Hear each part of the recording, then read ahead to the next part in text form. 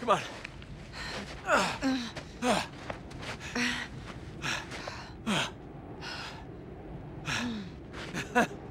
Just like old times, huh? You could say that. So now what?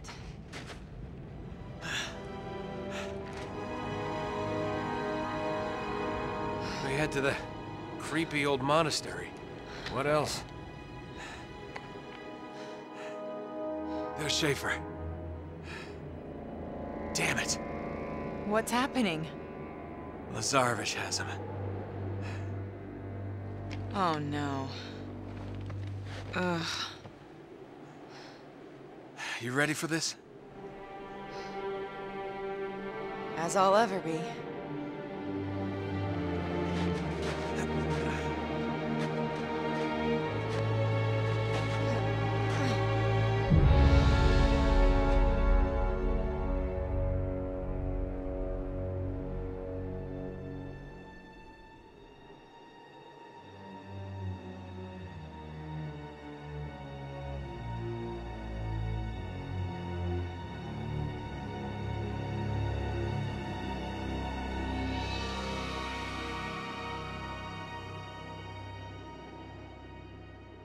Almost there. You got it? Uh-huh. Right, quietly now. Come on. Nice view. Men. No, no, I was talking about the mountains. Really. Come on. Yeah, he's still got it in him to, to crack a joke, even in the face of adversity. You gotta love that. But yeah, I'm just uh, relieved to have got that entire section out of the way. Obviously it's not going to get any easier, but... Oh boy.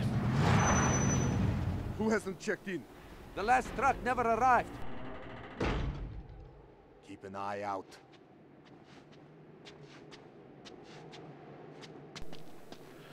Hopefully can pull a quick one on this guy. Ah! Okay.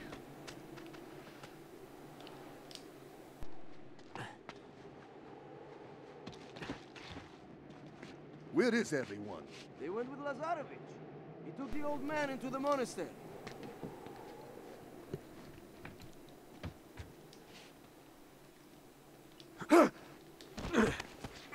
Okay, that was pretty smooth. Where's his gun? Okay.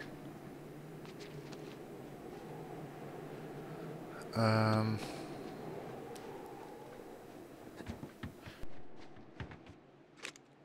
So yeah, this is like pretty much the final section of the game, I would say.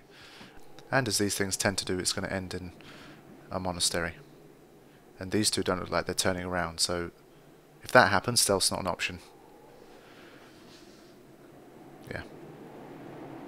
Because as I approach one, the other one's going to see, so I've got to shoot him. Huh? Oh, where did you come from? Bitch. Oh, kitty got wet. Okay. That's interesting.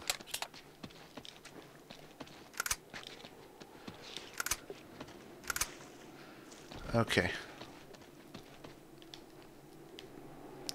Obviously, Lazarevic seems to be keeping Schafer alive because he probably still has some relevant information. It's up this way. Because he doesn't really seem like the kind of guy who would give a shit about something like that unless it was something he needed. Yeah, to be honest, I love using crossbow type weapons Careful. normally, but Soldiers. They haven't seen us yet. Hang back. I'll take these guys out. I haven't been too happy with the crossbow in this game. Um, if I could just... Okay, that's what I wanted to do. I can at least pull this guy over the edge. Shit. Ah, bastard. If he didn't move, I would have been able to get him.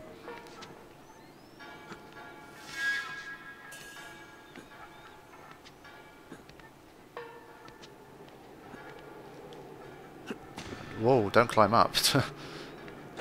I can actually see a treasure there gleaming.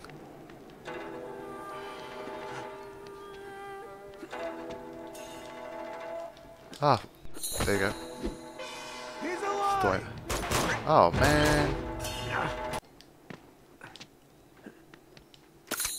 Yeah, so it's strange that I fell last time when I pressed circle, because I, I pressed uh, X to kind of grab the, the ledge again, but just um, fell to my death.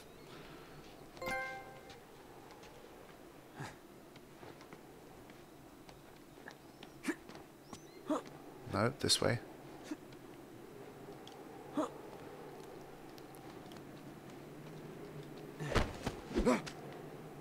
Good stuff. Ooh, that was nasty. Alright, stealth has been successful so far. But I think I've kind of reached the limits of how much I can stealth this bit. I'm probably going to be seen any second now. I can just feel it. Yep. Why am I not surprised at all? So yeah, a few stealth attempts later it didn't work, so fuck it. We're going to do it the old-fashioned way. Where we just take these motherfuckers out.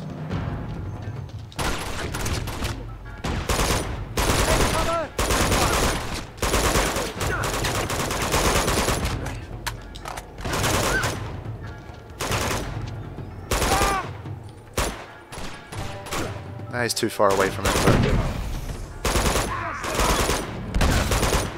Okay, big guys here. More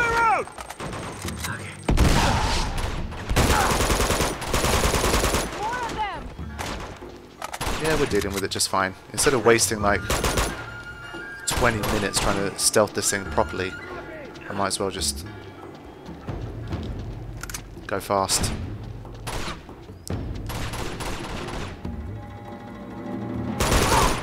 There's a machine gun right there.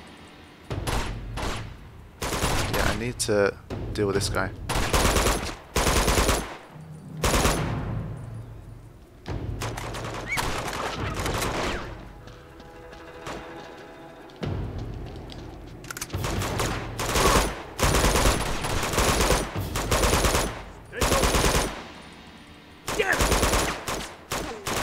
I'll just die.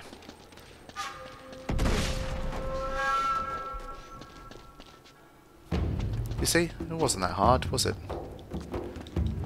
I think I'm just uh, in this game. I'm going to have to abandon my stealth attempts and just um, and just dive straight into these areas because, especially in an area this crowded. I mean, okay, if there's only three or four people, then it's not so bad. But uh, in this area, I probably would have had no chance to stealth it unless I spent hours trying to plan out the perfect route.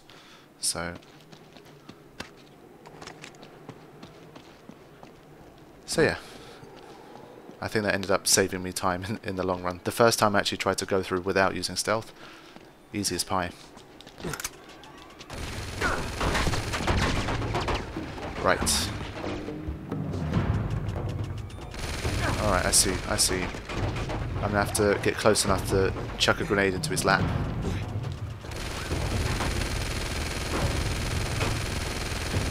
Um, I can probably use that, that wooden cart as cover, actually.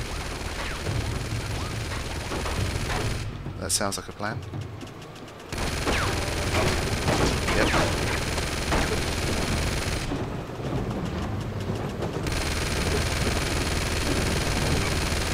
How far can I take it? About here. Damn it, they're on both sides! Okay.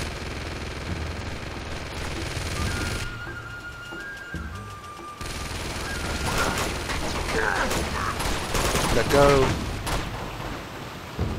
Okay.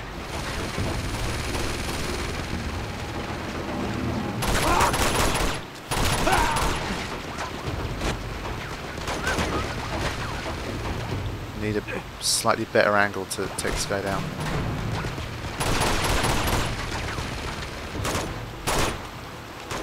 Luckily I have plenty of bullets. Oh fuck.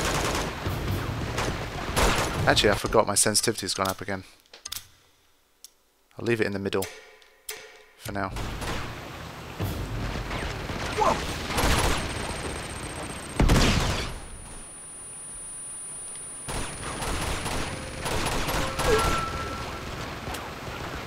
Right. Should be able to get closer to the to the turret now. Whoa, how. Oh shit, they're right here. And an armored guy, shit. Okay, I don't want to deal with him. I don't think Elaine's being too much help this time round.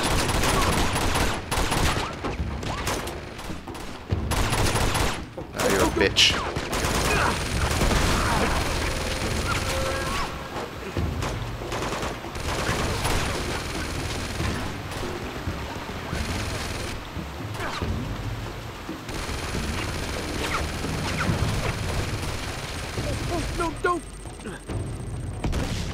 I really want to take this guy out. He's annoying me.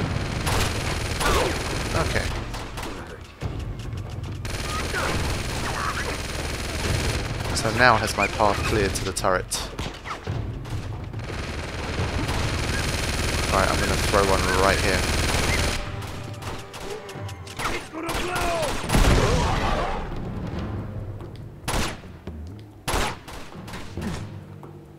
Okay, who else is left? Whoa! Oh, he threw it in my fucking face! How did he manage that? Still... Oh, someone got back in the turret. That's cool. Damn it.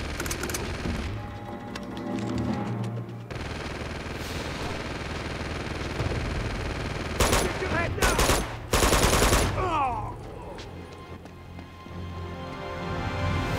Yeah, where's your precious turret now, bitch? Go, go!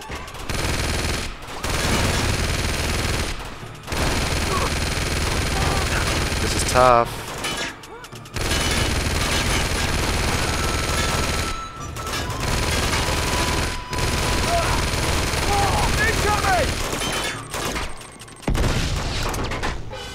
I'm still going to make use of this as much as I can.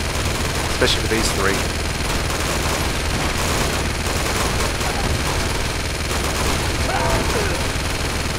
Fucking hell.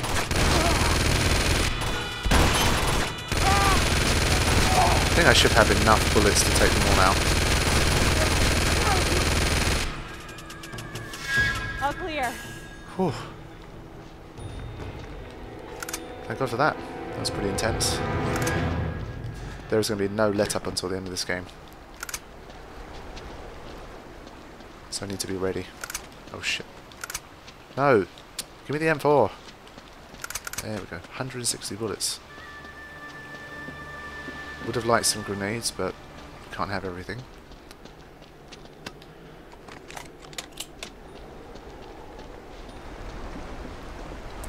Right. Let's move on.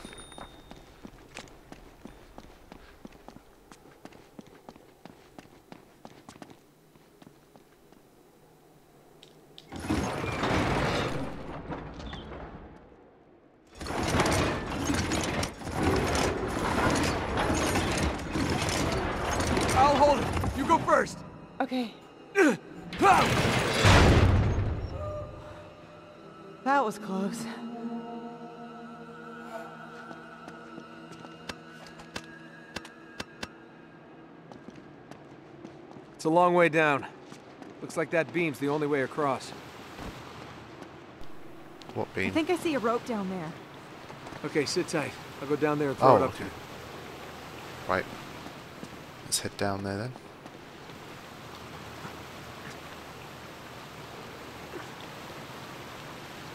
You just have to love these conveniently placed random bits of stuff. Whoa. I actually quite like what um, Tomb Raider did with that, where you have to, there's a button prompt that you have to press, Shit. and if you don't make it in time, you actually fall off the edge. I thought that was a pretty cool idea. Well, here's the rope. Catch! Got it! Good girl. okay. Always get nervous when having to cross fragile things like this. Follow me. All you have to have is one sentry posted here and you're done. You can protect your entire base by having three people here. That's it. Because this beam goes, there is no way even Drake is going across there. Maybe through here, but I mean that's a waterfall, it's going to be too tough. So yeah, that is the way to stop Drake from getting into this place. Very easy. But, you know, they must have uh, overlooked that.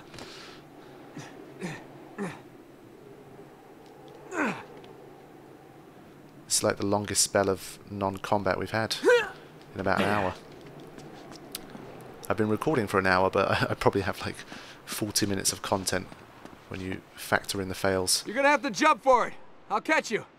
Okay. I got you. There. There. See? No sweat. Right, this thing looks like it can be pushed. Come on, over here. Okay. Why is his gun out? Give me a hand. We'll push it. That's it. Whew. Hey, we can climb up this thing now. Come on. Okay, I was I thought maybe it was going to reveal some kind of open some kind of door, but that also Be works. Be careful. God knows how old these boards are.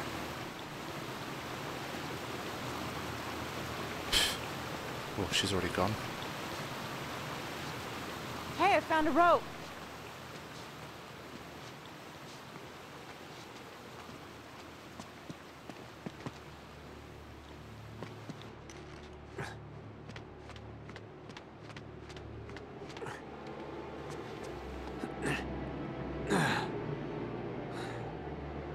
Look, up there. Is that them?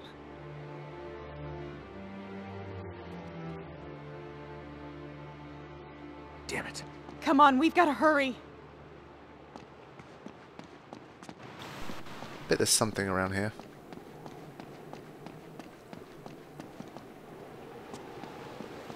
And obviously now that we're in a, a monastery, you know, from from the Far East, it's obviously going to draw even more similarities with Tomb Raider. Monastery high up in the mountains. Whoa. I mean, forget Nate making that jump, even Elena making that jump is pretty miraculous. So yeah, while we have a little lull here, I might as well uh, get a little bit of discussion going with the with the people that like to comment on these videos. What do you guys make of the uh, new announcement for Metal Gear Solid Ground Zeroes? From what we hear, it's apparently it's only about a two-hour game, and they're trying to charge about thirty pounds for the for the PS4 version and around twenty for the PS3 version.